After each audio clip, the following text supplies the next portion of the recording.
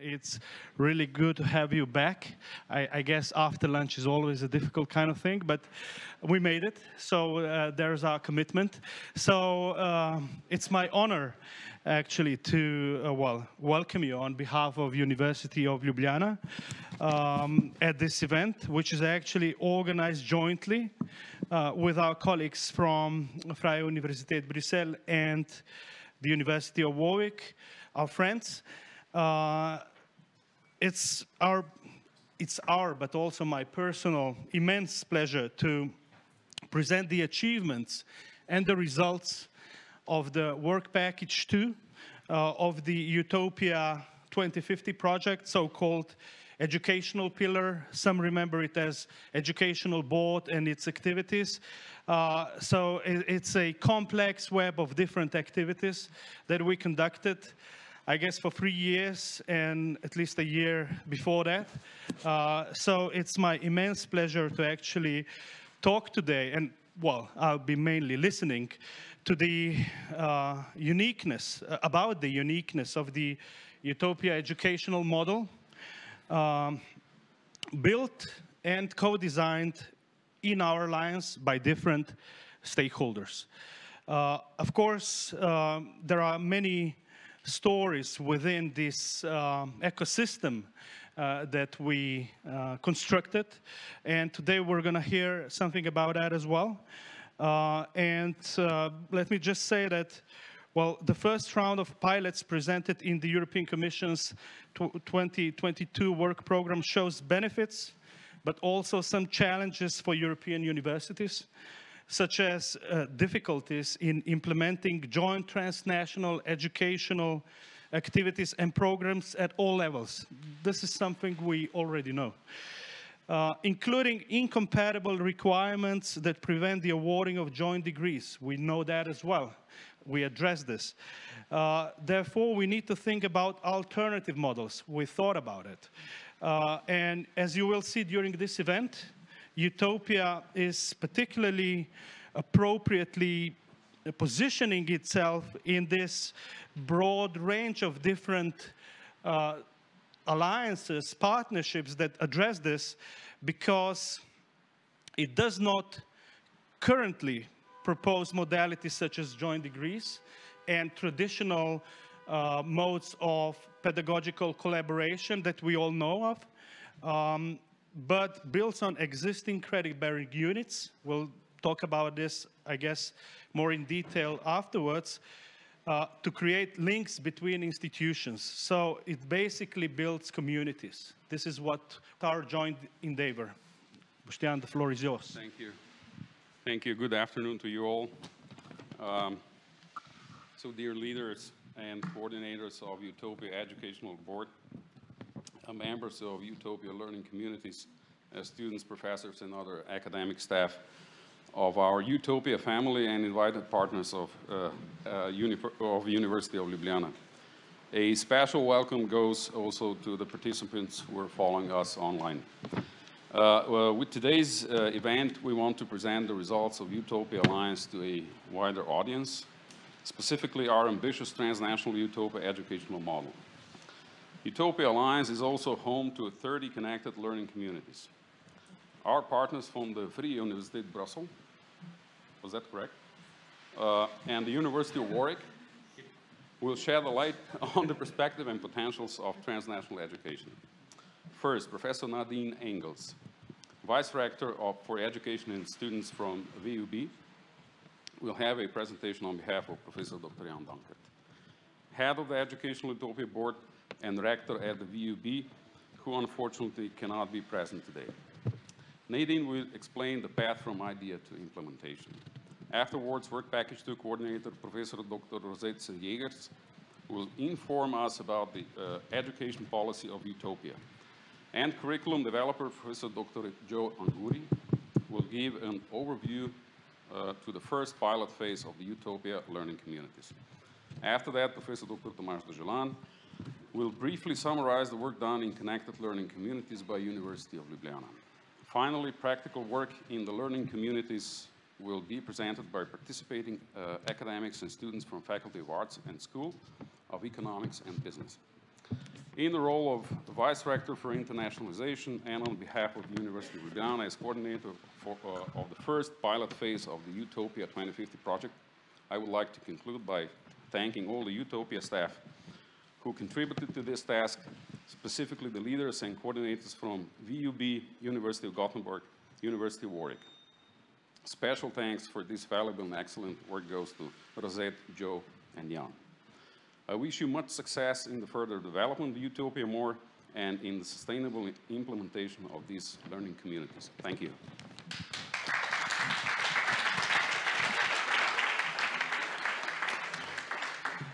Thank you very much, Boštjan, uh, for these kind words, uh, I guess. Uh, we will now continue, as Boštjan already, Professor Markoli already said, with the presentation uh, about how it all started. That's actually the title. Uh, from the idea to implementation, I, I know some bits, I can tell you, given by Professor Nadine Engels, uh, Vice Rector for Education and Students of Vrije Universiteit Brussels. Uh, who will speak today on behalf of uh, already mentioned uh, Professor Jan Danckaert, Rector and Head of Work Package 2 EUTOPIA Educa Educational Committee. So, Professor Engels, please, the floor is yours. Thank you very much. Dear colleagues, good, um, good afternoon. As I am indeed a new Vice Rector of Education of the Vrije Universiteit Brussels, Um, I'm, I'm not go going to try to step in Professor Danckaert's uh, shoes and telling about what happened in EUTOPIA, because I'm actually a novice in uh, uh, EUTOPIA. So I've been exploring the um, EUTOPIA landscape for the past uh, few weeks and I discovered that um, the goals and the activities of EUTOPIA blend beautifully with uh, the future of our higher education that we have in mind at our university and with upcoming learning models in highlight just a few of these features. Um, first, the societal engagement. In the past decades, increasing concerns have been voiced about the disconnect between education and society and between education and employability.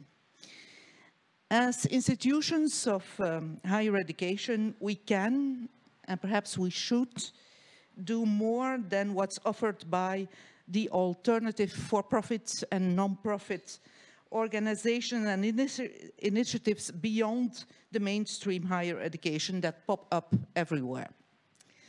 Our task may be to educate students not only to equip them with knowledge and skills, but also to be and to act as responsible and engaged individuals in a complex society, to make a difference people who think globally and engage locally. We've been stimulating active learning, experimenting with community-engaged research and learning, and transformative uh, learning for quite a while uh, now. And it's good to see that uh, EUTOPIA European uh, University will help us further on this way. Second, open and uh, co-creative. That refers to another dimension of engaging and entails that teachers, students and societal uh, partners together design learning, learning materials and learning activities. A process in which each of the partners contributes from their own expertise, experience and ambition having been the initiator in uh, teacher education of school university uh, partnerships with collaborative research-based learning communities, this is one I cherish. Next one, the third one, the inclusive stance refers to the need to democratize higher education, not only to provide opportunities to experience the engagement that comes with being a member of a community, but also expand the offerings to those who are not fortunate enough to have access to expensive courses and traveling, or to those who work and family life ex excludes them from the traditional programs. Now, these three first ones together are totally compatible with our motto, the world needs you. Whether it is to, um, to help create better living conditions or equal rights or uh, peace or a better environment. They are also summed up in our vision of um, education that goes under the title Urban Engaged University. With a student population that increasingly, increasingly has um, or reflects the urban reality, it is necess necessary to develop the kind of education that embraces the opportunities as well as the challenges of the cosmopolitan, multicultural, multilingual and multi-layered, socially multi-layered uh, society. And then the last one, interdisciplinarity. Many current challenges are so complex that multi-perspective uh, approaches are necessary to find solutions. On the border crossing of different disciplines, there's a lot of learning potential, we think. I'm not sure that all our colleagues in all the different disciplines are already convinced of that, but I'm sure that there is a lot of potential in interdisciplinary education. To conclude, I think EUTOPIA and me might get along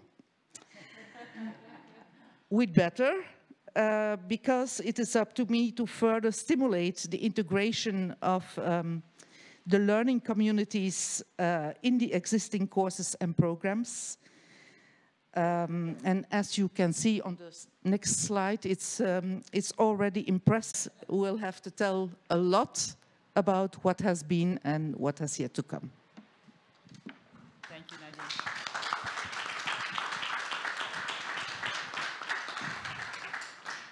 Thank you very much, Nadine. I think you passed. The, you passed the first test. Uh, you're in. Uh, so thank you very much for these kind words. Uh, I would correct you actually. It's not a landscape, it's a universe. And you actually uh, presented it as that. And we think of it as a universe um, as well. Uh, because I think uh, looking at it as a landscape somewhat do, doesn't do it good, you know, uh, particularly because, as you said, we try to address different values and principles, and even though they're written everywhere, all across the policy documents, rarely they're taken seriously. We actually had a conversation today within the FlexLab meeting. Uh, it's tough, but we do take it seriously, like solidarity, like inclusivity, and so on. So, um, this is something we try to ingrain in every mechanism uh, we constructed within the work package too, also across different activities that we conduct. Uh, and with this in mind, we try to actually address the key educational challenges of the European higher education area, which are which we're supposed to do. So um, it's my great pleasure to pass the floor to my dear friends, Professor Rosette S'Jegers, representing VUB, uh, uh, in her role as EUTOPIA 2050 edu Educational Coordinator, and Professor Jo Angouri from University of Warwick, Curriculum Developer. Uh, Rosette and Joe, or otherwise known as uh, Josette, because um, they're inseparable, uh, will introduce the floor of EUTOPIA Connected Learning Communities, elaborate on the EUTOPIA education policy and the strategy, and reflect on the initial pilot phase. So please, uh, Rosetta, I guess the floor is yours. Thank you very much, uh, Thomas, and uh, please forgive a bit from a disequilibrium problem. Uh, physically, I mean, since yesterday, I stay uh, on my chair if you allow me to. Thank you. Uh, is it on? Yeah. Okay. Is it okay? Yeah, yeah, yeah. Just keep it a little bit closer, I think, to uh, the speak, uh, the source of speak. Um, but well, I'm, I really am touched by seeing all these colleagues, students, I hope, also here and there, and guests of the University of Ljubljana to uh, to assist here and and and listen and and and talk with us uh, on this universe or cosmos or, or whatever we call it uh, of the EUTOPIA connected learning. Um, let us start. Yeah, let us start by stating that our approach claims to be innovative but pragmatic at the same time. Uh, we take a threefold approach combining concept building, preparing context, and testing. And I think that those that participated and contributed to these three types of approaches are represented here at the table, but also in, in the room, if, uh, uh, if I perceive it well, because it's a little bit dark uh, uh, uh at the end of the room. What is also, I think, important, and we had another talk, I think, about the importance of minutes or reports and, and, and all these kind of things. But what we did do is that all these processes were documented and presented to the WP2 representatives of all universities during trimestral meetings, thereby allowing to profit from the advice and the backup of the highest authorities in our universities, and at the same time, um, uh, sorry, uh, it is especially important for this type of approach of uh, an educational model to do so and to have this interface with uh, our people responsible for curriculum development as a vice director or in similar positions because let's not forget, and we will repeat that, I think, in, in many sentences to come uh, in, in, in our speech, that we are cooperating with teaching staff that is there, that is involved in existing programs. And that means, of course, that we have to support them doing this and taking all these responsibilities next to the workload they already have and the responsibilities they already have. So let's briefly look at uh, what then happened in three sub-work packages. In EUTOPIA 2050, um, the money was going to the sub-work packages. I see that in EUTOPIA more, the money is going to the tasks. So we'll, we'll have to be careful because it's a little bit a different kind of approach. But, well, the money is a big word, of course, because we all know that the budgets, although they are impressive when you look at them as, as a total amount, uh, they are not so impressive if you divide this by university and by operational year. So there is not that much money, and, and, and we try to use it uh, as, as efficiently as possible. Um, in educational strategy, I told you about the documents and the, the reports related to these support packages. I just want to point out that we had four strategic notes. They are available. Uh, you can consult them. And they were, in fact, documenting the progress that we made in the, in the different um, stages of, of the development of, of, of the strategy. There was one, yeah, at the beginning on the building blocks. Then there was uh, a, a, focus on the alignment uh, or the potential alignment uh, with uh, the EU political uh, agenda. We talked about life cycle and sustainability of, of the connected communities. And last but not least, we are now still busy consolidating the value added that has been created in these uh, communities.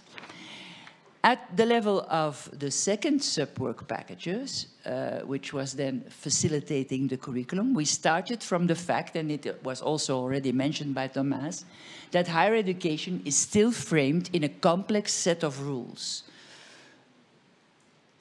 And you can justify this because the uh, higher education institutes respect the national and subnational legislation relating to, uh, uh to education. Um, so this resulted in a, two research reports, in fact, on barriers and enablers for uh, international cooperation, taking into account this context. We had uh, a first part uh, on facilitating EUTOPIA's curriculum, uh, and it was delivered by uh, Anna Maria Fjellman from the University of Gothenburg. She was comparing the legal context and the inter internal procedures for curriculum building in the partner universities. And then a second uh, uh, report was on the creating a vision, in fact, for internal and external quality systems of European universities in general, but also more specifically for the EUTOPIA and EUTOPIA model. And this was prepared by Thomas himself and by Achim Hobbach uh, uh, in the University of Ljubljana. And last but not least, 30 connected learning communities, now operational in a wide range of thematic networks and cross-campus activities, and recognizing the efforts of students and uh, teachers, staff involved in these communities. At this stage of the project, we are still uh, having a majority of the communities that are not at the end of their life cycle, that are still expanding. And we can already mention that we have more than 200 staff members and more than 3,000 students directly involved in, in fact, the operations related to these communities. Next to the EUTOPIA 2050 project, and in the frame of an Erasmus Key Action 2 call, we also obtained additional funding to test the potential of the connected learning communities for developing an inclusive approach in lifelong learning. We'll come back to that later. So let's look at these building blocks. And the building blocks of EUTOPIA are the so-called EUTOPIA labeled learning units, existing curriculum components, as already said, in academic offering of one or, or of our uh, university members. Identified in three selection rounds, organized in fact in each year of the pilot program that we are now finalizing. By following this approach, we succeeded in creating operating partnerships within the time limits of the pilot project and avoided more lengthy procedures needed for collaborating at program or degree level. And from these learning units, we go then to uh, learning communities and to connected learning communities. learning units are responding to the vision of openness already indicated by Nadine and adopted by the Alliance. Learning units literally aim to break down the walls. Walls between disciplines, walls between staff and students, walls between academia and society, walls between degree seekers and non-modal type of learners. The teachers responsible for these learning units accept to become the spill of thematic networks or learning communities that work across campuses on curricular offerings but also on joining research practice and trying to have um, optimal impact on society. The connected learning communities development comes in different stages.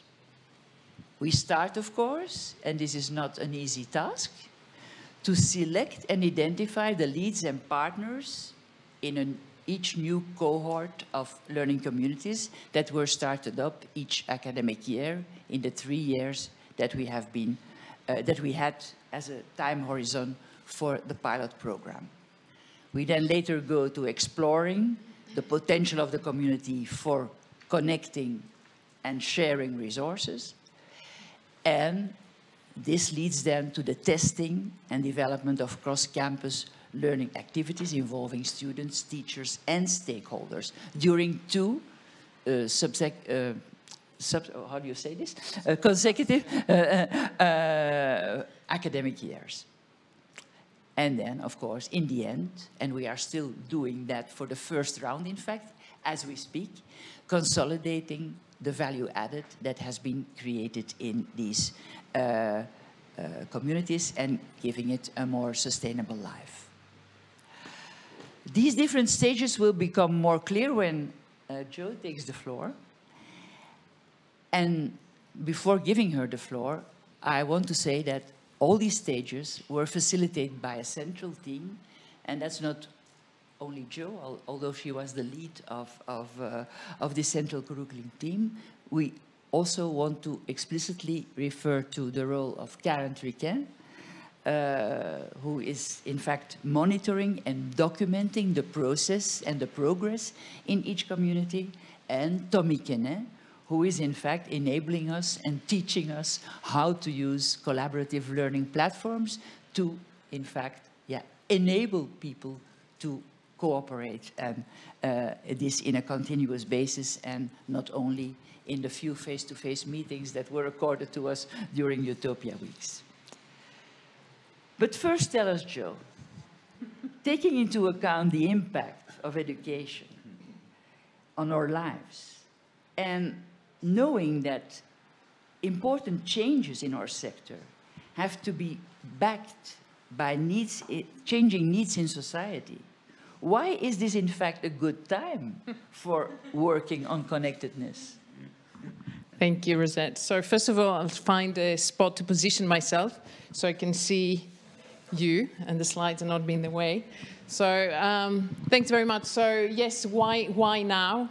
Uh, it's a really very important question and where, what we started uh, and to, to sort of the journey we started and what we are really very much see as the benefit uh, of having the power of a utopia is certainly not uh, one project or even many projects is really to think differently, to reimagine what our uh, higher education can do, how we could reconfigure both uh, all our activity, our teaching, learning, uh, research, uh, societal impact. Now, um, this is fundamental uh, because uh, we are need, we need to do, universities need to do a lot in a context of change. And uh, those of you who were in the morning in the Flex Lab meeting or you heard us talking about lifelong learning, of course, there we reflect a lot about the fact that we really need to think who is the student, uh, but that's not only in terms of the conversation on lifelong learning or flexible learning. Uh, we are well beyond the time where we can think the student as uh, the model students coming out of secondary education, spending five to seven years with us uh, without any financial constraints, uh, and then jumping into the job market in some fairly stable world. Uh, so we know that this is not uh, the this is not the profile. We know that the profile of our students are changing. Uh, we know that the relationship between our universities, the region, the national, the international uh, environment needs to change, uh, and therefore it's really an opportunity to use the power of the alliance to be more than the sum of our parts in what we do. So uh, we have also a number of resilient barriers. Uh, this, all the words that we've used and the concepts and the terms have been around for a very long time.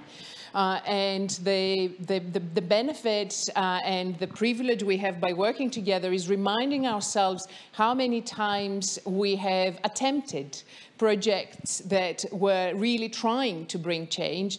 And we had what I often refer to as uh, educational fireworks. So some great, uh, fantastic idea, some good project that touches the lives of a few students or some of our researchers and always remains uh, sort of in the periphery.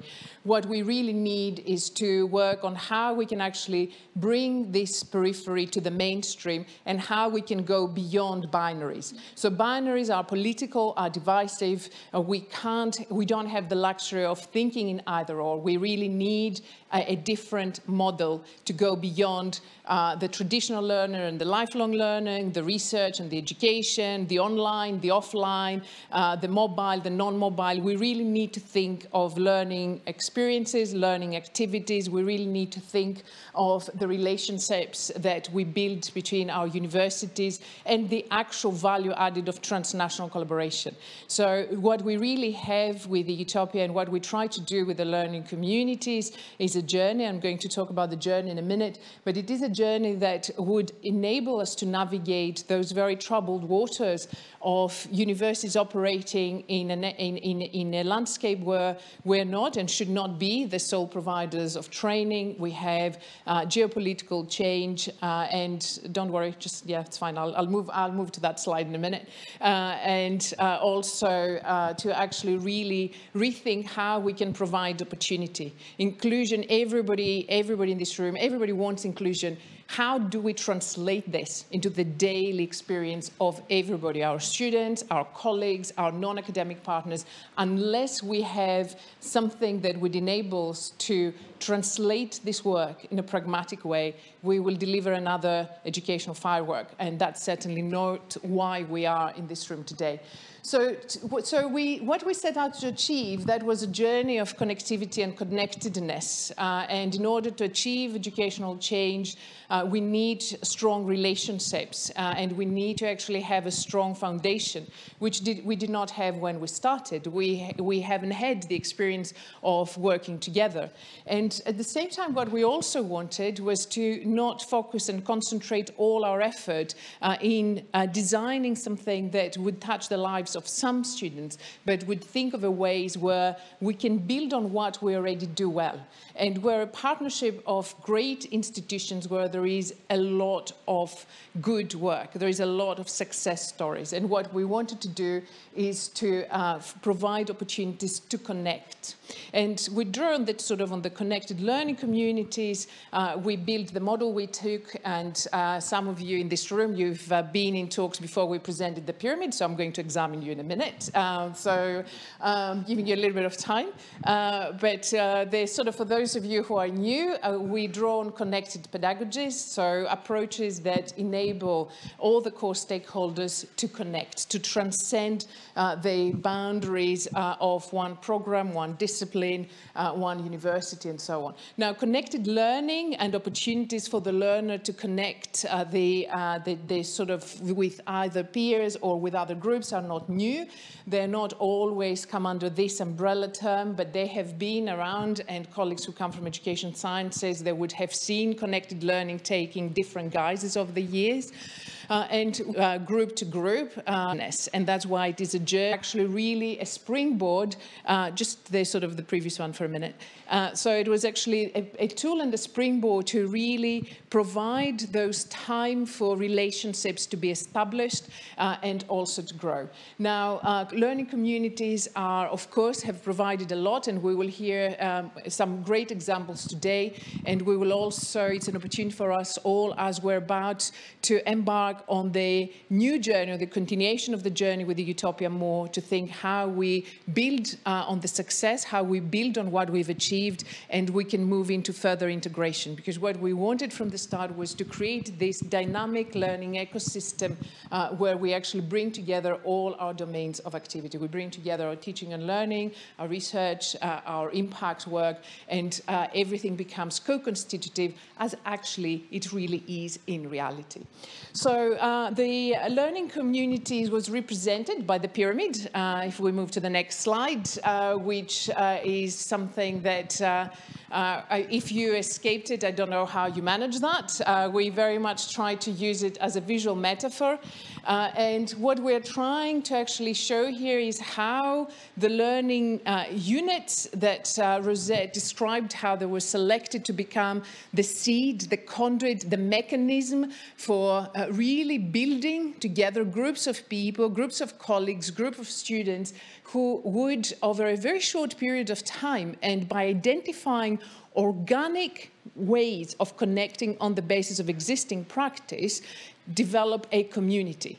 And by bringing together a group of experts, we don't have a community, we have a group of experts. So developing communities means developing relationships. Relationships take time.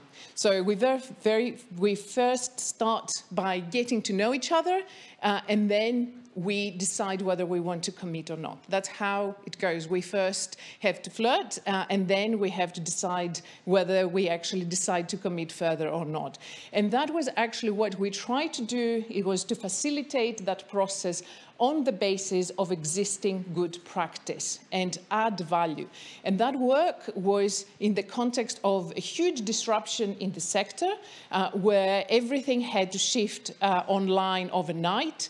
And that actually was a, a, a, sort of, that, that gave us the drive for, for really rethinking and challenging ourselves because we ourselves wanted to achieve the aims that we've covered already, but the way that we were using modalities, the way we were using online, offline, transnational collaboration, and so on, were very much in the reality of using physical mobility for quite a lot of the work that we had to translate in an online environment, thinking of digital literacy in a completely different way and so forth.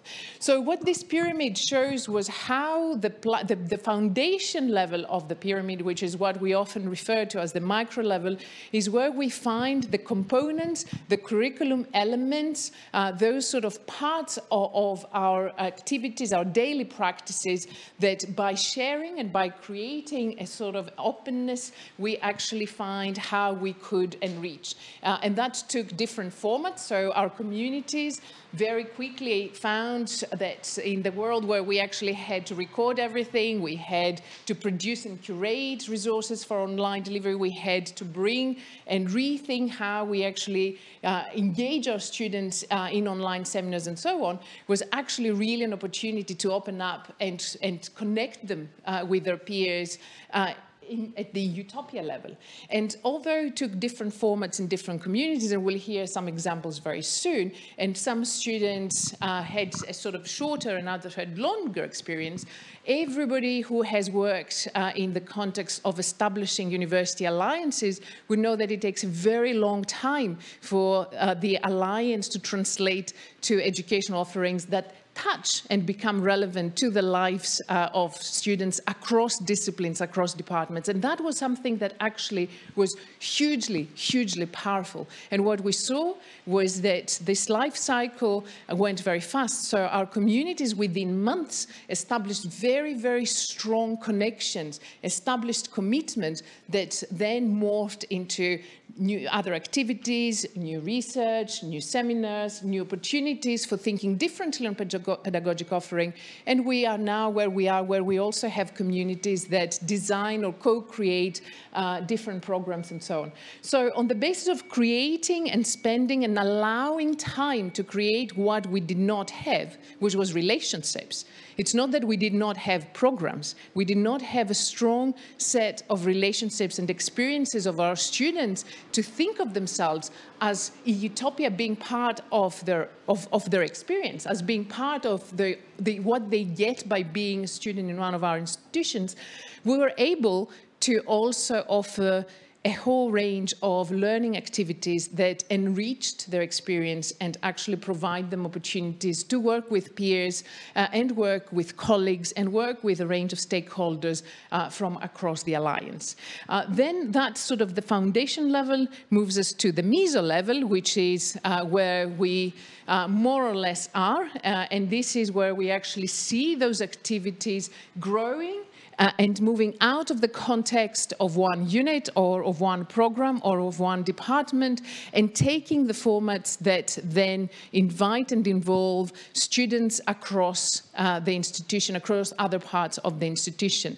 And of course, this uh, takes different guises depending on the discipline, but we actually saw a number of student-centered, student-run events that actually very quickly the students themselves brought into the offering. And that is the aspiration is that we're moving towards establishing an open and flexible curriculum, not by actually creating a different curriculum, but by actually building pathways into EUTOPIA at different stages. So transnational collaboration and mobility is not something that happens at one particular stage of a student life cycle, but it's something that has different opportunities and different ways uh, and different experiences so that students can engage in different ways uh, during their time with us. So moving on very quickly, because I don't want to spend longer, that was a sort of way that uh, also helped us to organize our own thinking and also helped us uh, start working, and, and we acknowledge the work of uh, the curriculum team it's absolutely invaluable and we need to recognize the amazing work that colleagues did across the institution. We work with over 200, 250 colleagues. That's a huge number of colleagues who somehow contributed to this really important this, this, this architecture that we're sharing today. So it was really, and it is really a collective achievement that deserves to grow and to be supported because we had uh, the effort of students and colleagues who saw the potential uh, and really worked to bring and embed this work into their offering. So it takes different guises. And then if we move on to the next um, a slide what we actually have here, uh, and we are going to see this uh, in practice when uh, colleagues here are going to share their journey, is that our communities develops a whole range, a portfolio of activities uh, which uh, was established very quickly, starting from the sort of the foundation level of our pyramid. So you actually see the shared resources that, uh, of course, COVID has been an accelerant there, and, and of course, that's something that that in a sense it's a bank uh, of resource, that it, it is the asset of communities that now they have this really valuable asset that all colleagues involved can actually use and continue curating and grow uh, to joint activities, uh, to cross-campus assignments uh, that actually took different formats. So we're going to hear about cross-campus work uh, that took the sort of the form of summer and winter programs. Uh, we're going to hear about activities that are running as we speak, uh, and they have enormous complexity, but despite that, colleagues and students see the value added, and that actually really shows how we can, together, if we identify how to connect, we can really deliver the scale that we cannot do individually. And that from the start is something that is really important because one of the challenges is that we need to deliver and we need to actually, we are in this moment uh, where policymakers, national and international policymakers encourage higher education to really think differently. But we also know that there is a shrinking of resource. There are uh, our colleagues and ourselves and everybody stretched uh, and thinking and adding innovation when it is something that is different to what we already do requires resource and requires the collaboration uh, of a number of stakeholders who don't have the capacity.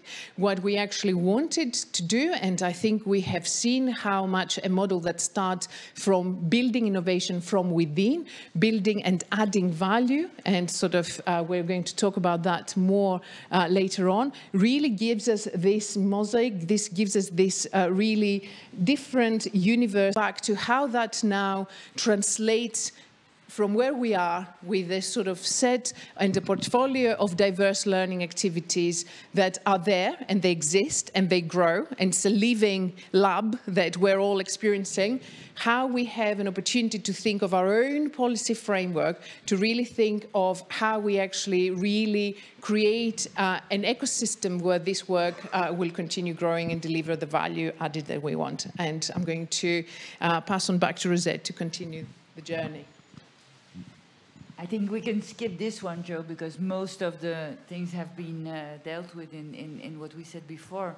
So let's have a look. Uh, you now more or less understand what the context is uh, uh of, of our model and, and, and how it can, of course, inspire um, uh, the policy uh, needed for sustaining it and for, for supporting it. Um, a first thing that I would like to stress is that we feel that the alignment with uh, the, the agenda of the European higher education uh, in, in, the Commission uh, has proved to be an important advantage for continued support accorded also to EUTOPIA More and to the uh, to the continue uh, to the continued uh, possibilities for EUTOPIA. Connected learning communities really reduce the barriers for international cooperation through connecting innovative uh, teaching practices and reinforcing the existing drive, the already existing drive in the operational core of our universities. All CLC, sorry, all CLC are uh, challenge-driven and inspired by stakeholders in society. So that means, in fact, that our approach helps to link uh, educational policies to other types of European policies. huh? Research and innovation, digitalization, employment, we gave examples of, of, of, of these links. One of our core ambitions is to uh, reach out or to allow students to reach or to um, experience an international, an international outreach um, and make it possible for them to combine this with other responsibilities for family and work. So that's for us embracing diversities.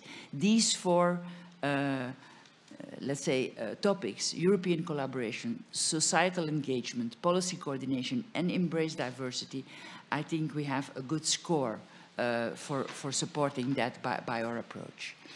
Of course, we want EUTOPIA's education model to become more than an experiment. It was already expressed, I think, here uh, a number of times. And that means that in the consolidation phase of the first round communities, we started, of course, already looking to identify pathways for sustainability. And uh, a variety of pathways have, of pathways have already uh, been, been uh, in fact, identified. There is, of course, the possibilities for integrating the results of the connected uh, activities in existing academic offerings. There is also using the connectedness established in the partnerships by uh, and for the development of European programs. And last but not least, we will try to valorize the network more and more in non-curriculum related activities, such as research and innovation, and we hope that in EUTOPIA More, this integrated approach will be in fact the dominant, uh, uh, the dominant focus of, of, of new activities. This goes, of course, with a coherent internal policy to support all that. We need to find the good ways and even stronger incentives for recognizing and validating the efforts of staff and students in these, uh, in these communities. We need continued support also for the incorporation of the value added once that the communities have in fact reached the maturity phase of their life cycle. And last but not least, we need to link the EUTOPIA communities to ongoing curriculum development and ongoing portfolio activities for research and innovation.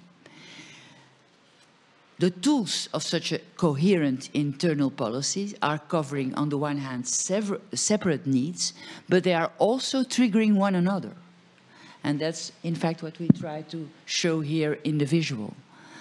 In other words, our advice is, in fact, to stop dealing with EUTOPIA on a project basis, but making it an, integr an integrated, uh, an, in, an integrated, I will come to it, an integrated component of our strategies. Back to you, Jo. So the last, so that gets us to the end uh, almost of where we are at today, certainly not the end of the journey. In some ways, it feels that we identified a vehicle and we identified a pathway. We identified ways to really build uh, relationships and to very fast move into exceeding the aim uh, of delivering uh, sort of change within one particular part of our institutions, but we have an opportunity and we identified ways and tools to really build innovation and change on the basis of what we do well. And we know that uh, we have uh, a lot of uh, experience in delivering uh, across the whole range of our activities and by connecting where we have this organic ways, these organic nodes is where we are actually really stronger than what we can actually otherwise do individually. And therefore, what is actually really relevant now is that uh, we have a moment education has a moment, and I refer to education as the totality of higher education. And there is an opportunity really to hold our policy makers accountable to the uh, and to, to the actual um, encouragement uh, and also uh, strong uh, positioning on the need for education change by working with us on how we can really use the policy tools that we have to think differently in terms of our relationship with the national regulators, to think differently in terms of what we want transnational collaboration to look like and to deliver.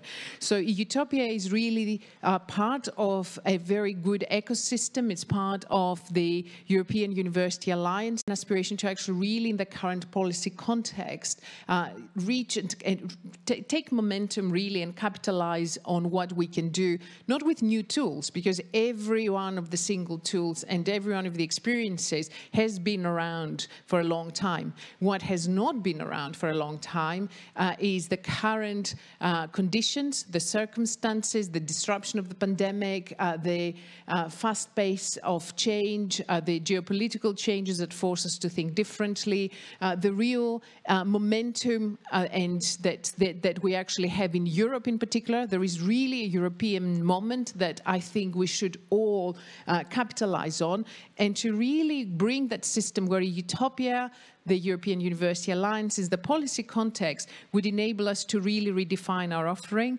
offer global learning, actually think in a different way about what we've been talking about at least all my life, ever since I started at least my sort of PhD. I remember about the sort of parity of esteem between teaching and learning. I've always been uh, a senior researcher whenever I'm in those in those in my world of uh, research councils and so on, nobody still asks me about educational leadership. When that happens, typically it's not in the sort of in the frame of, seeing it as a necessarily positive. When I'm in my educational world, there are many, many colleagues who don't know what my research is about. So we still have quite a lot of silos that we actually have been recognizing, but we haven't had a model we didn't have a different approach to really think differently. And the same goes with lifelong learning and impact. We really need to bring those together because they're not separate. They've never been separate, and we don't have the luxury of keeping them as separate parts of our activities.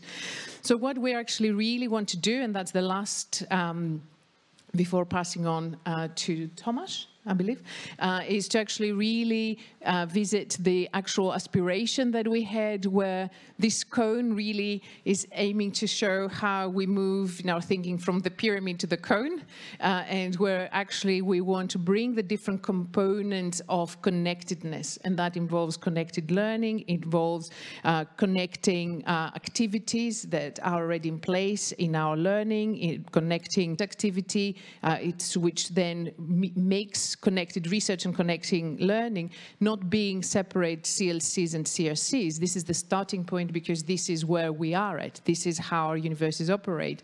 But we're moving towards uh, the EUTOPIA connected communities, the EUTOPIA ecosystem, where we have an e-Utopia campus where societal and academic impact are actually the center because relevance of what we do is really fundamental and then that also enable us to have a reconfiguration of teaching, learning, research, and all the relationship of the core stakeholders involved in the delivery uh, of uh, the whole range of higher education activities.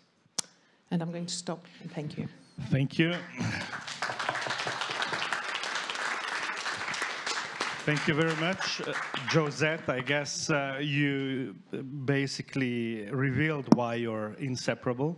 Um, and uh, since I don't want to waste time to uh, for our learning communities who are going to present themselves, I, will preserve a bit of time. So I'm going to briefly go through something we actually already talked about, like diversity of approaches.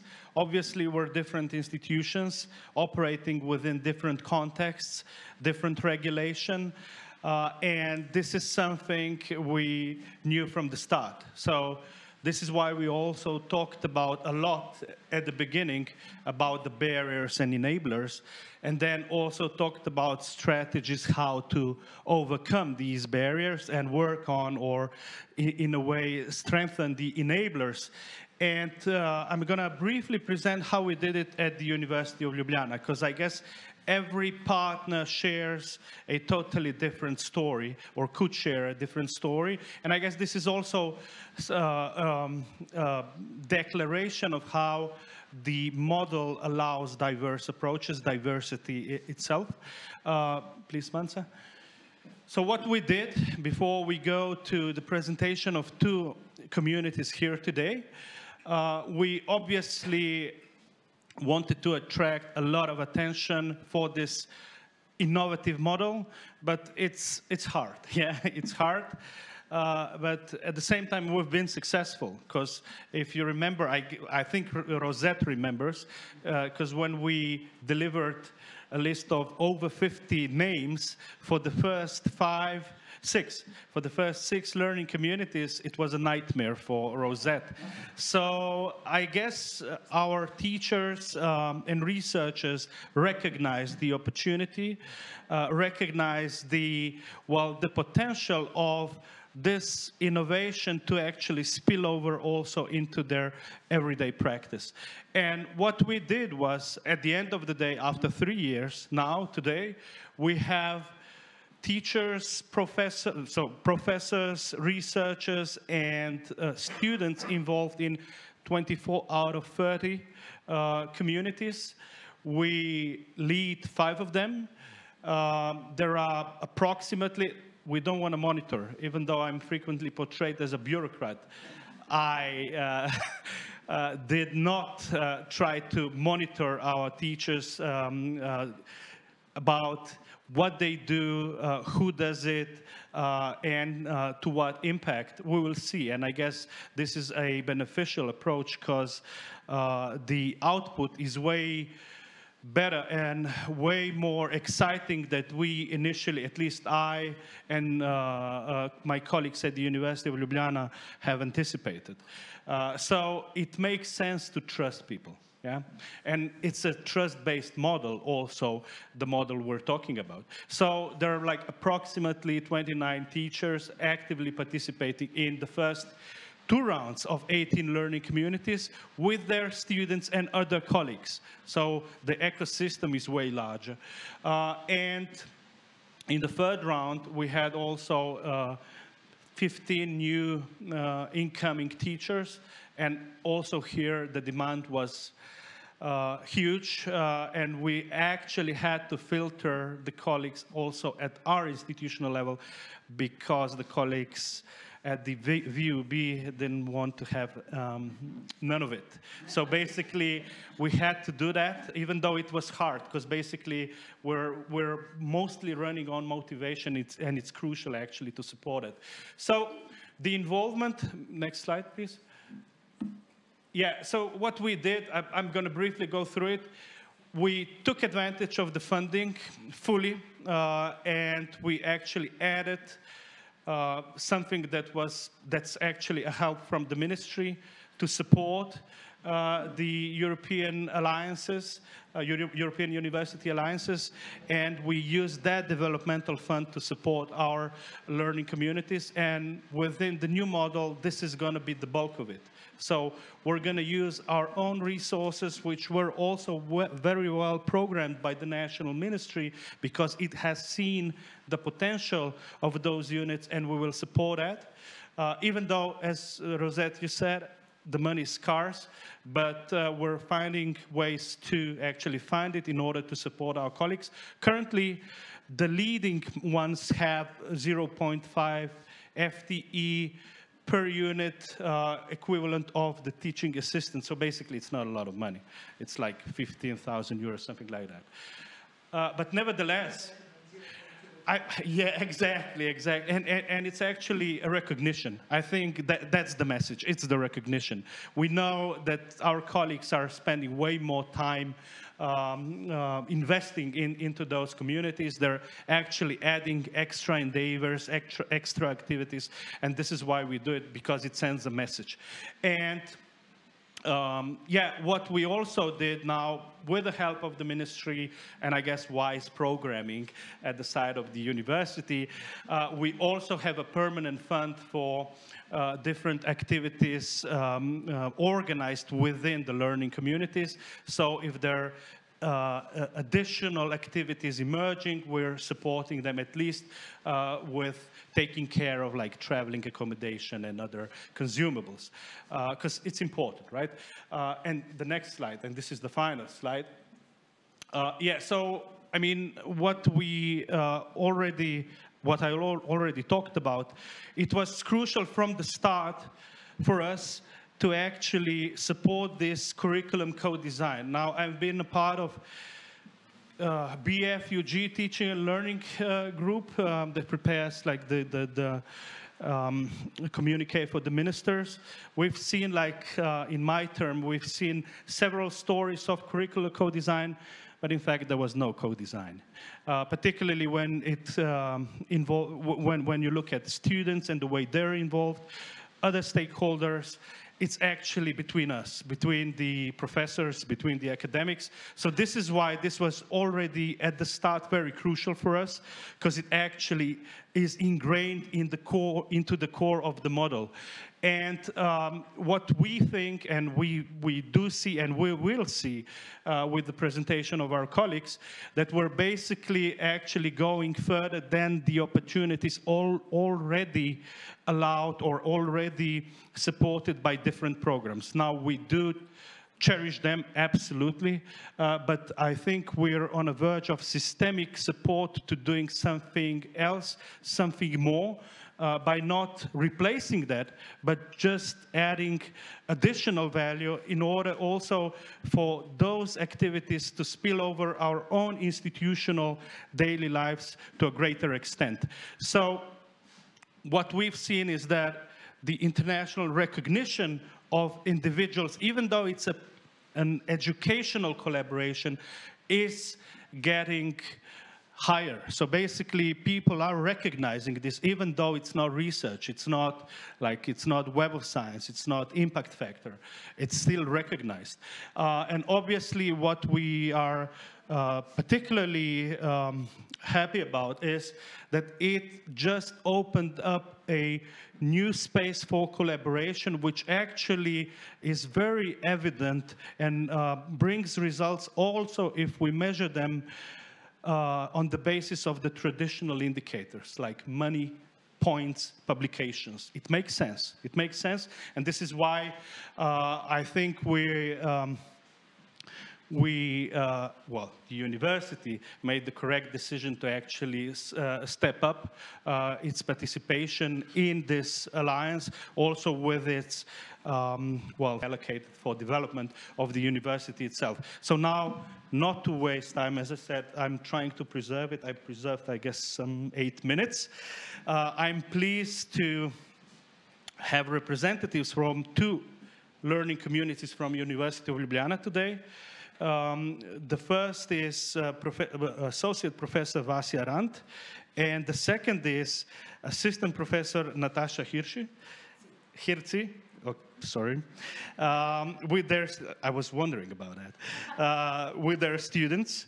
Uh, so they will briefly, but uh, not so briefly, uh, present their work and describe the perspective from the field, so from the community themselves. Um, and obviously, the colleagues, students will actually add the perspective we're sometimes forgetting about. Uh, and this is why it's important actually to also see that perspective because this is something I already talked about, the curriculum co-design. So um, first let me give the floor to Vasja, uh, who has been a partner of the European, the World Learning Community since the first round uh, when the first six learning communities started in uh, 2019 and uh, Brigitta, student of that community. So please, the floor is yours. Thank you. Uh, thank you for inviting me uh, to share my experience and also that of Professor Mojmir Mrak because we co cooperated uh, in a lot of these uh, activities together. Uh, within the learning community Europe in the world. So we heard a lot today about the universe of learning units, learning communities, uh, shared experiences, uh, connectivity, innovative activities, and so on. Uh, so let me try to show you some of the planets or stars within this universe so that you will know what we're talking about here. Mm-hmm. Uh, I'm going to present basically two activities that we did uh, uh, within the uh, School of Economics and Business that are quite different as planets are different so these two activities are different as well mm-hmm. so the first activity is uh, was actually a simulation exercise which was built on my and also Mojmir's extensive experience in EU budget negotiations, the actual budget negotiations. So we built a virtual simulation of nego negotiations about the multi-annual EU budget within the European Council. Uh, this was an activity that was held in 2021. Uh, so this was still in the midst of the COVID crisis, uh, so it was held completely online. Uh, and uh, this activity was something that was new. It was actually uh, a value-adding activity that did not exist before. That's why we also accredited it uh, with the University of Ljubljana as a co-curricular activity uh, with four ECTS points. Then uh, we implemented a lot of promotional activities. We prepared a flyer. we announced and advertised the activity both within the learning community as well as uh, on the EUTOPIA website and uh, through the partner universities, the initial partners in the EUTOPIA project. Uh, we also prepared uh, an extensive scenario of the simulation. It was, by the way, really interesting because the negotiations themselves for this particular period, as a 2021-27 period, were interrupted by the COVID crisis. So we made a scenario that started before the COVID crisis. Uh, we had a newsroom for the students. So we, we basically put them into the shoes of the politicians in 2019, actually, right? So before the COVID crisis, just when the European Green Deal came out and so on. And then we slowly progressed uh, and uh, also through the newsroom, you know, uh, we we um, presented different uh, articles, uh, background materials which the students had to study uh, and fully immerse them in this environment, right? So this scenario was made and then also additionally uh, the whole simulation was run online on the learning management system Canvas that we use at the School of Economics and Business. Uh, we collected the applications uh, with the help of our partners. Uh, many thanks to uh, each one of them. Uh, and then made a final selection. Can we go to the next slide, please? Uh, in all, 38 students applied, and out of these, 27 fully participated in the simulation, so it was quite a high participation rate. keep in mind, these activities was held in the summer, so students had much better things to do than sit behind the screen. But still, 27 of them fully participated. So we did in these negotiations. Uh, we gave them substantial background reading materials and created, I would say, well, uh, Brigitta will be able to say that better afterwards, uh, a fully immersive negotiating environment, you know, full with the backgrounds, as you will see, uh, with the flags and everything. So they really could step into the role of, uh, of the negotiators. Yeah? Uh, can we go to the next slide, please? Uh, so what they had to do, so what was, were the deliverables uh, from the students, so they had to prepare negotiating positions as well as other outputs for uh, three rounds of negotiations. So uh, the actual live negotiations were held, we had four sessions. the first introductory session where we basically represented the logic of, of the exercise, and then three rounds of live negotiations, which simulated the European Council negotiations, both uh, on the plenary, in a plenary and as well as bilateral setting, just as they are done in reality. And at the end, the teams also worked towards drafting European Council conclusions based on the negotiating docu documents and we gave them real negotiating documents to which we had access, and uh, at that time they were already publicly available. Uh, for the participation, students received a certificate of participation and were awarded for ECTS. Can we go to the next slide, please?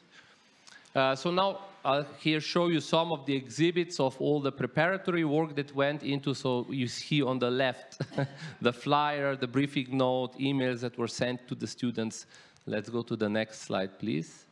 Uh, this was the Canvas website, so it was quite graphical and instructive to use. Uh, they could, uh, uh they, uh, there were also instructions for how to use this website, and in the next slide, we'll be able to see how the negotiations actually worked. So this was the plenary session of the European Council. As you see, many students really uh, stepped into the role with the backgrounds. It was optional. We didn't force them to use it, but uh, many of them did, right? Uh, next. Uh, these were bilateral meetings uh, here. We also have Professor Mojmir Mrak, who probably would be here today if he wasn't uh, teaching. Uh, so uh, let's go to the next slide. This is the uh, certificate of participation that they received at the end. Next slide, please.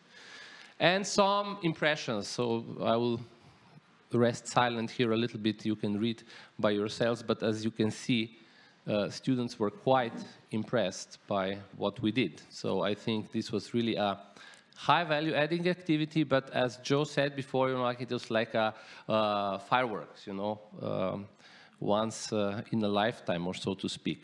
But as you will see, we are now trying to build on that. So we're trying uh, to, you know, make it sustainable uh, into the going into the future. Yeah? Can we go to the next slide? uh, yeah, so it's a high value added activity, uh, a positive experience also for us as professors. It was really fun doing this actually, and uh, you know, teaching and learning, it's best when it's fun, right? So when it's, uh, yeah. Uh, but at the same time, it was also a high workload also for us. Believe me, we did a lot, a lot of background work to make this uh, come true, right? Uh, the problem is that this activity at the time was not embedded in an existing, uh, let's say, course or activities that we do at the School of Economics and Business. Uh, so its sustainability was questionable. We discussed this in our learning community meetings a lot of times. However, uh, the School of Economics has now taken steps to further integrate this activity into the curriculum in two ways. First of all, we, have, uh, we are building uh, an interdisciplinary program with the biotechn biotechnical faculty, where one of the courses will have this as a module. So that's one option. The other option is we just, and that's just from the last Senate, we confirmed uh, this extracurricular activity students will be able to choose it. So uh, in that way, in the future, it might become more sustainable. But there still is a problem that um, uh, we have limited human resources, right? So if we do this, then we have to cut back on some other teaching. We cannot do it all, right? Uh, I think this is, can you move on to the next slide? I think this is the last one from the first activity. Uh, that's the second one. So I think th this should be the point where I hand, you know, the microphone to my student, Brigitta Petek, who participated in this simulation exercise. Yeah. Uh, by the way, in this simulation, uh, there were students from all the, uh, from all the participating universities. Yeah. Thank you. Uh, so what can I say? That we learned a lot, definitely. Uh, that we had fun doing it, absolutely. That role-playing and presenting, uh, negotiating starting points and uh, accepting compromises will also benefit us uh, in the future in our chosen career fields, without a doubt. Uh, that um, we are more of a public speaker. I don't know, maybe another simulation or two and might do the trick uh, that the simulation was really well prepared and that Professor Rant and Professor Mark chose a really good tactic of not uploading all the documentation right away, but gradually. So, um, build up the um, so um, uh, the bottom line, we worked hard, we learned a lot, we had um, fun. Um, but for me, um, as a child born into a single parent with a minimum wage, it's also a much more important um, goal of EUTOPIA um, that it builds on non-formal education that's available to all, regardless of the financial status. So, thank you. Thank you. Yeah. I think Brigitta made a very important point about the, the importance of uh, inclusiveness uh, of these activities. Uh, now, I can also show the second one if we have time, but I don't want to uh, cut into the time of my, uh, yeah, so, because I see Tomaž already jumping there. Yeah, so I'll hand it over. Yeah.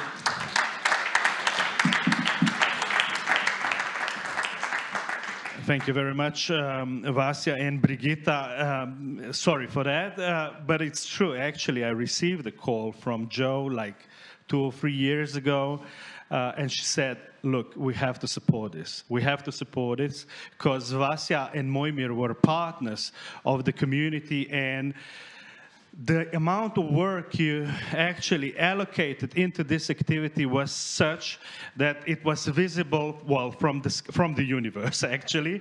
Uh, and first Warwick and then Ljubljana. So thank you for your contribution to this as well. And thank you, Brigitta. So now the last presenters today uh, are Professor Natasha Hirci.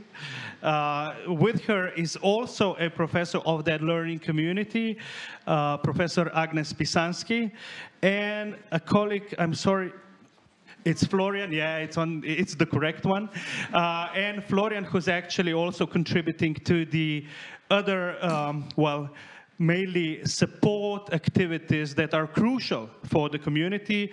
They are a part of the um, learning community from the second round, text and discourse analysis, and they are the leaders of uh, learning community on behalf of the uh, University of Ljubljana. So, Natasha, the floor is yours. Okay, thank you very much for these kind introductory words. And um, I have to say it's a great opportunity to present what we do here at the Learning Community. So uh, first things first, so you can see Learning Community on Text and Discourse Analysis, um, which is something that uh, quite a few people know about but do very little on, right? However, you know that speaking is something that we do all the time and spoken communication is predominant nowadays. So perhaps just briefly, I could tell you a few things about our learning community. If we go to our main goals, first slide, please.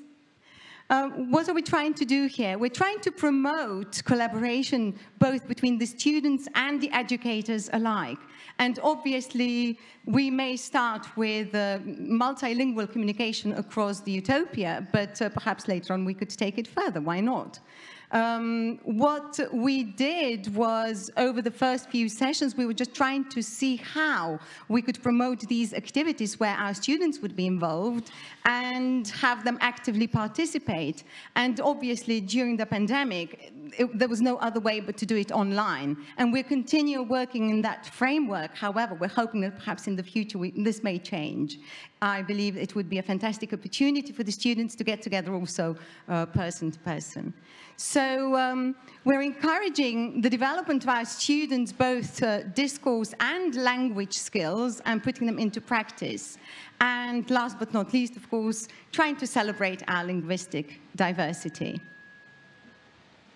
Just very briefly about the team, yes, it's uh, Ljubljana, but there are uh, four other universities participating, so we have colleagues excellent colleagues um, uh, from uh, uh, Brussels, Paris, Warwick, and Barcelona working with us. It's a wonderful group of people, and I'm really pleased to say that uh, this opportunity is not only an opportunity for the students to participate, but also to collaborate across um, the EUTOPIA collaborative framework with our colleagues from um, our partner states. So um, last but not least, that 0.5 FTE, that's our Florian. I'm very pleased to say that he is an invaluable asset to our project, and without him, I have no idea how we could just proceed. Okay, if we go on, um, so what are we trying to do? We're trying to provide some sort of a, what shall we call it? Perhaps um, linguistic cafe or language cafe. What does that mean? I don't know if you've ever been involved in anything similar, uh, but we're trying to offer our students a platform where they can get together and communicate in a variety of different languages, because here we're talking about language students as well as translation studies students who uh, we encourage to get together and communicate in a variety of different languages. So basically, we try to facilitate their interaction in all the languages that actually all these experts that uh, uh, I presented earlier uh, are engaged in. So we offer communication options for them in French, German, Spanish, Italian, as well as English, of course. And we do so um, by actually bringing them together online so that they can put their theoretical knowledge on text and discourse analysis also into practice. So um, spoken interaction is the key word, I assume, or key words in, for that matter. If we go on. How do we do it? We actually, it took quite a while actually for the team to come up with a particular framework that would work. And since this was done over the pandemic, uh, we had to do it online. Um, the teaching staff had to meet online, and there were a few challenges associated with that as well, because obviously trying to find the time when everyone has enough time to get together, even for the teacher, is challenging, let alone for the students, right? Um, we do this so that we bring the students together within the framework of what we refer to as the Languages in Use Week. And this is done twice a year. One is scheduled in March and the other one is, uh, is November. And yes, right now, this very moment, our students are getting together, collaborating uh, in this uh, project. What does that mean? That we bring the students together from all the partner universities and they get together, um, communicating, interacting on a variety of different topics that may be perhaps challenging for them. Um, they are given several topics uh, from our side, but actually can also come up with their own ideas of what they would like to discuss. Um, it could be anything related to the student life or challenges related to the curricular activities they have to do at their respective universities. And um, their conversations are then recorded which means that we're, and, uh, we're actually really trying to build up a corpus of these recordings of spoken discourse, which can later on be used for a variety of different purposes, of course, obviously also for research purposes on uh, text and discourse analysis. And this will be available in form of a corpus of spoken discourse. Here we're talking about L2, so we're talking about language students, so they're practicing their L2 skills uh, of all these different language varieties that will be available for research um, to all the partners first, and then we'll see, perhaps also to other communities. So our learning community um, gives our students a chance to meet either one-on-one -on -one or in small groups. We figured out that small groups of three to four might be best because then the students feel that there's a little bit less pressure on them rather than just when you're doing it one-on-one -on -one when they tend to get stuck a little bit because, you know, if you're meeting someone for the very first time, what do you talk about? Okay, yes, the weather. What else? Uh, okay, it's really tough, you know, the student life sucks because uh, it's very difficult to survive this pandemic uh, period. And then what? So we do give them some guidelines, what they can actually talk about, but very quickly that's just the basics and then they really take off and, and they do it um, on their own. Um, these recordings um, are done via the Microsoft Teams. This is something that the students are very familiar with, uh, had to get familiar with, obviously. Zoom could have been another option, or any of these platforms. Um, so as these recordings are then put together, they're compiled into a corpus, this will be available uh, for both the students and the teachers to work on for any research purposes. Um, the languages uh, that I mentioned are actually always an option. So how do we do that? We actually, before um, the event takes place, we encourage the students to uh, register for the event.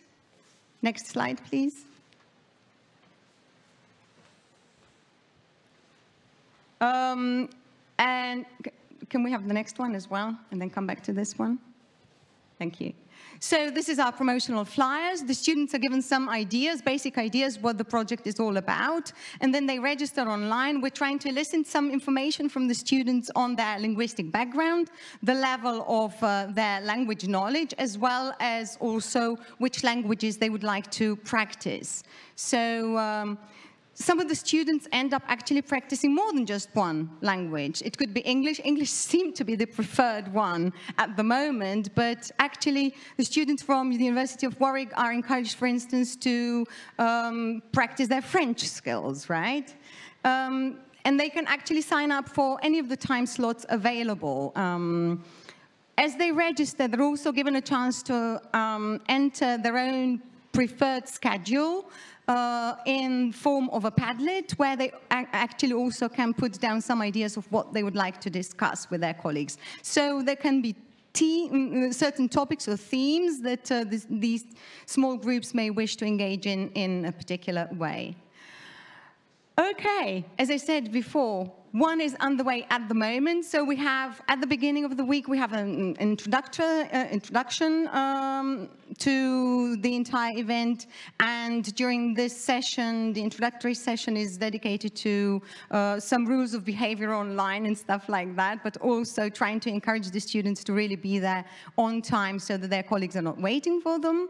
Um, and then over the week, they practice all these language skills. Um, at the end of the week, on Fridays, Fridays reserved for the feedback session, where we actually have some evaluation going on, asking students what they enjoyed most or enjoyed least over this particular um, event. And we try to learn from that and then take it a step further. At the moment, we're working only with BA students, but we would really like to engage the MA level as well. Perhaps, you know, the, the, um, the more serious approach to research skills of the MA level students might be something to take into consideration. And that's where we see place for uh, improvement in terms of trying to embedding this activity into our regular uh, curriculum. Because it's rather difficult to actually do that. Um, I didn't really mean to talk about the challenges, but perhaps just one or two.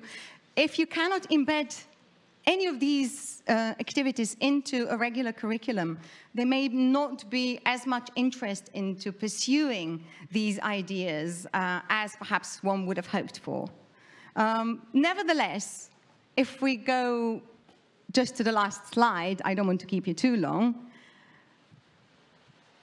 this is one student testimony from the very last evaluation session. That's what one of the students said. I truly enjoyed this opportunity. It was incredible as an experience, and I would love to do it again. Even if this were to be every term, this would be something that I would love to do.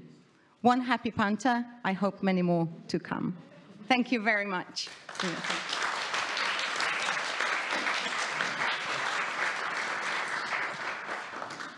Thank you, Natasha, um, Agnes, and Florian. Uh, now, um, just to be clear, uh, it, it's evident that I wasn't the first choice to moderate this event, right? uh, but she declined, so there's an excuse. Uh, I know we exhausted our amount of time uh, given by the organizer, but I would still like to break the rule because the rules are still there to be broken. And I'm a political scientist, I know, I know what I'm talking about. So. I would still like to uh, give the opportunity to the public to actually respond to what they heard about, uh, we were, uh, about what we were talking uh, today. So is there any comment, uh, burning wish to uh, ad address um, his or her point, question? Yes. Um.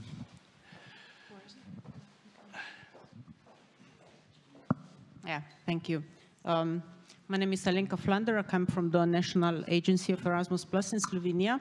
So it's very valuable for us to hear all the um, transformational potential that uh, this uh, uh, university initiative is bringing. And I would actually have two questions. One for the two examples of the learning communities. Um, and um, for them, I would like to ask, I mean, how do you see the potential or why this could not be part of the regular curricula? I mean, why is part of the extra curricular activities? I mean, this could be a blunt question from an outsider of the university, but I mean, still, I, I would be interesting to hear. And the other would be maybe to um, Professor Deželan, maybe, I mean, but some other um, expert or um, uh, representatives from other university could um, maybe also um, fill in.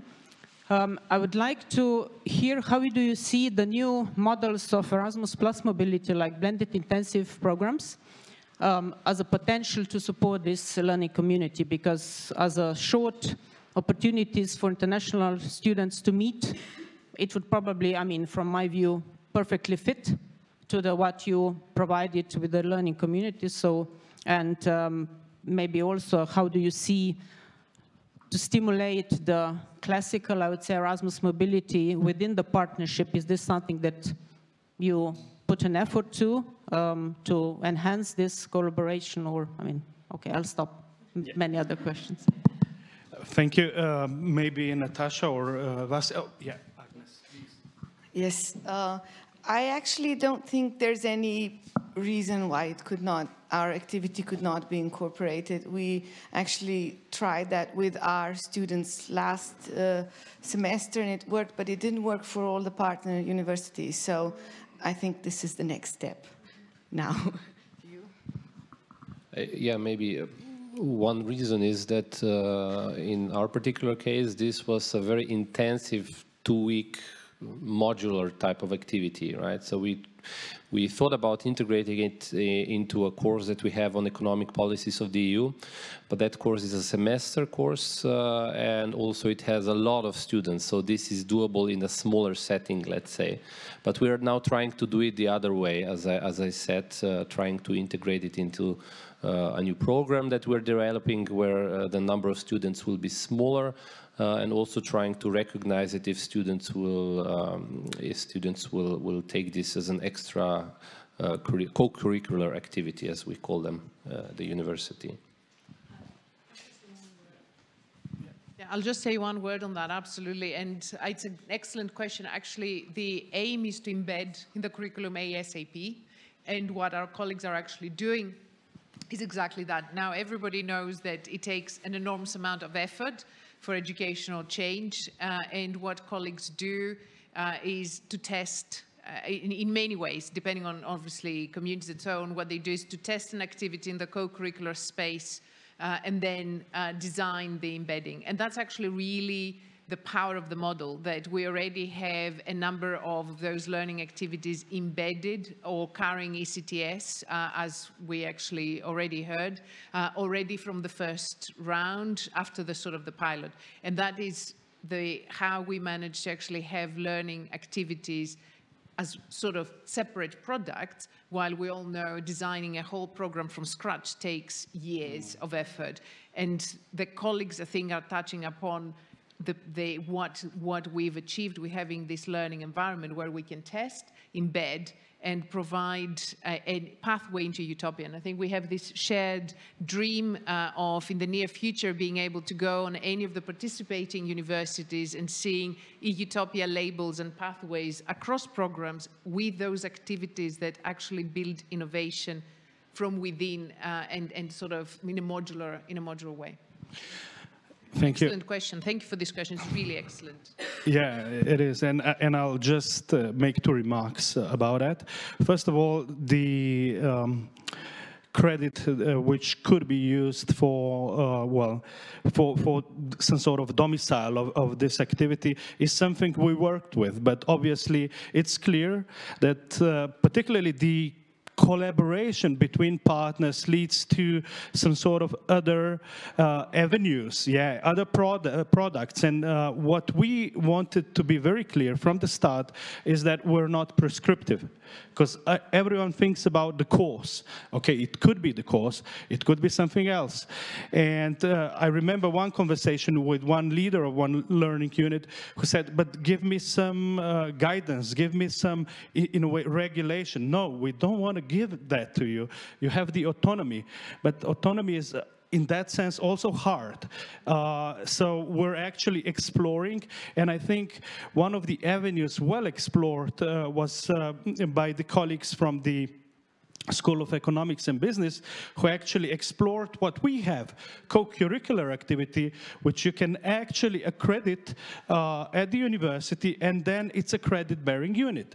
So there are many different scenarios already in place here at the University of, Ljubljana uh, within other partner institutions, and uh, what we are doing is actually, well, exploring as well as identifying what's, what are the best, uh, I guess, avenues of cooperation that we want to support after uh, the pilot phase. And also about the mobilities, like COVID was tough, yeah. Uh, Vasja explained it was tough. Natasha explained it was it was tough for us as well, because what we did at the beginning was we looked at our collaboration that existed prior to that. We actually wanted to enrich that collaboration and take advantage of every other opportunity uh, for mobilities of students, of staff, and, and various other activities that we had in order to actually allow this autonomy to thrive, right? So I don't think it will be in any way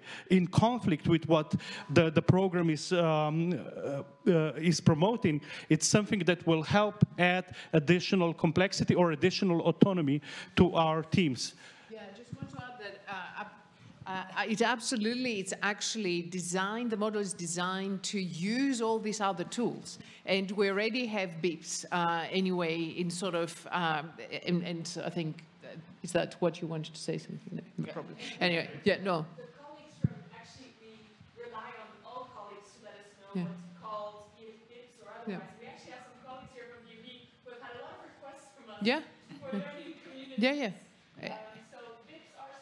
So the idea, so the broad is that we all have different policy tools. And we, as we all have pro, pro, programs and projects and so on, we also have tools. Some are internal, funding, seed funding, da, da, da, all that, ways to recognize, ways to actually give, motivate students. We also have tools like Erasmus, we have tools like BIPs and so on. What we're doing here is to create the relationship and the conditions to actually use all those. So, and to also strengthen the relationship with national agencies uh, of all types, national agencies. One of the binaries that is also very problematic is for us to think universities or regulators, universities or agencies. All those either or are très passé. I mean, we can't work like that. We really need a very different ecosystem that brings the stakeholders together. So absolutely, we need that because EUTOPIA would never be able to support physical mobility anyway. So, and it's not the role. True, true, and then uh, the new, uh, the new uh, EUTOPIA More is even uh, more uh, such a such a beast. So basically, we will need to take advantage of everything out out there.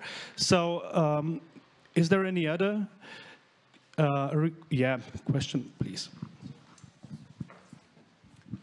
Roland Hinterhölzl from Venice. It's it's a kind of a follow-up. I, I, can see these were very specialized, very exciting activities, but the, the core question is in EUTOPIA more, um, we need to think of ways to integrate them in an existing curriculum to have a long-term effect. Otherwise, this will be one times, two times exciting activities, but uh, I think we want something more. We want to have uh, the sustainability means the long-term effect of this. Uh, so it seems to me crucial what you have been starting to discuss, uh, um, you know, that we need to find ways to integrate it, and I think that's going to be crucial.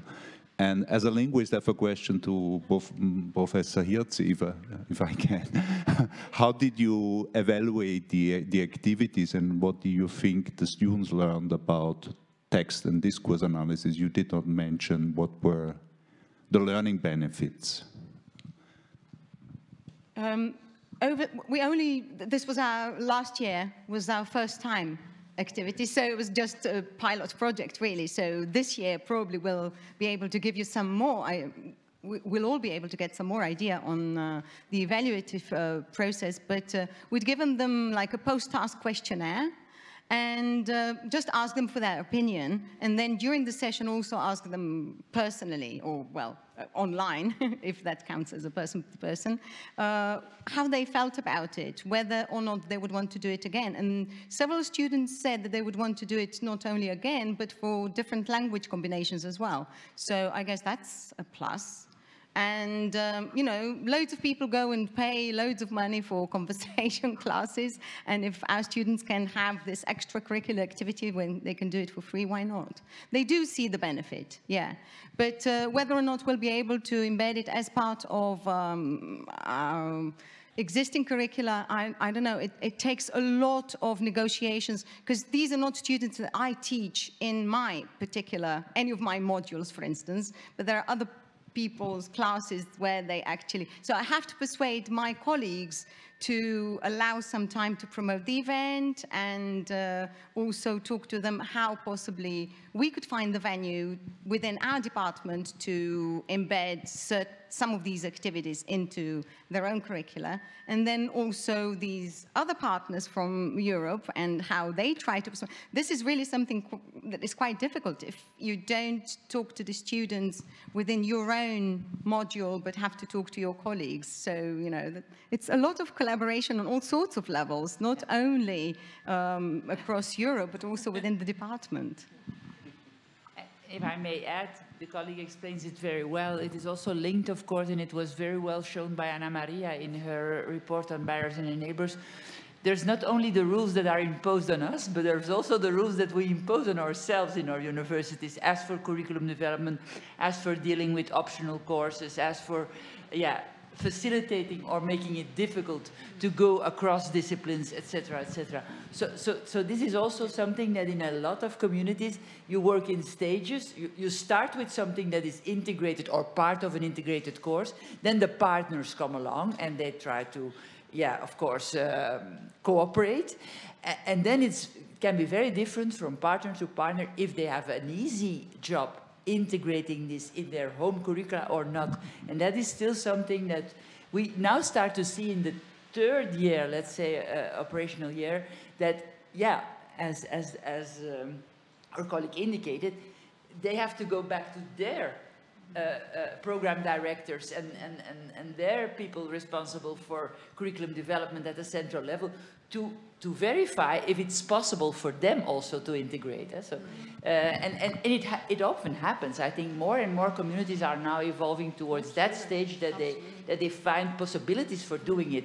But we, I fully agree that it, it, you have to do it because otherwise it's going to be. Uh, and, and uh, some have already embedded quite yeah. a lot. So in a sense, I'm just sort of thinking off the top of my head. I mean, I can actually. I think we had. Uh, uh, with uh, Melina, uh, who is over there supporting two of our communities, we had some conversation about uh, communities who from the start embedded. So in a sense, after doing a short pilot, embedded activities so that actually sort of would grow. Right. Uh, I hate to kill this debate, but I have to. Uh, in order to, well, respect your time and other commitments, uh, I would like to thank our speakers, particularly the learning communities here with us today, uh, as well as organizers of this event, and uh, of course you participants for your patience and your questions, and hopefully we'll be able to continue this debate because it's going to be a long one. Now, if you're interested in the uh, educa EUTOPIA educational model, you can find more information on the EUTOPIA website where all the 30 learning communities planets are presented as well as their contacts and what they do. Uh, so feel free to look at it. Uh, it's an interesting site with lots of ideas as well as a clear indication about how many people actually uh, collaborate uh, from various points of view or from, from various perspectives. So with this in mind, thank you for today, uh, and hopefully you'll have a wonderful dinner, dinner afterwards. Uh, at least a part of the bunch I know uh, is joining us, but I guess uh, there are many dinners take, taking place. So, well, bon appetit and thank you very much.